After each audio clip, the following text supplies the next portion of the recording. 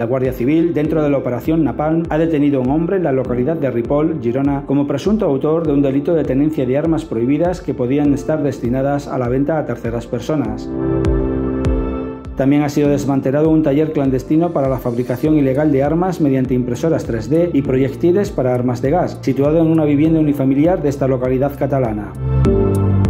La operación se inició este pasado mes de octubre de 2022, cuando la Guardia Civil detectó a un usuario que difundía a través de publicaciones en plataformas web de acceso totalmente público cómo realizar modificaciones sustanciales de armas, convirtiéndolas en armas prohibidas, con una gran capacidad lesiva, así como diseñar piezas en 3D para dichas armas, imprimirlas, aplicarlas y cómo usarlas. También difundía instrucciones para elaborar explosivos caseros y confeccionar artefactos explosivos de gran letalidad.